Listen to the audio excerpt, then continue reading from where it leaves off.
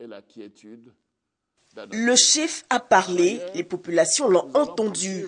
Les partis politiques maintenant réagissent. Ce dimanche, le PDCI-RDA s'est prononcé sur ce traditionnel discours de Nouvel An du président Alassane Ouattara. C'est un discours honnête et plein de sincérité qui rassure et qui fait espérer en un lendemain meilleur. On sent transparaître dans ce discours l'engagement d'un homme d'État qui veut amener son pays vers l'émergence.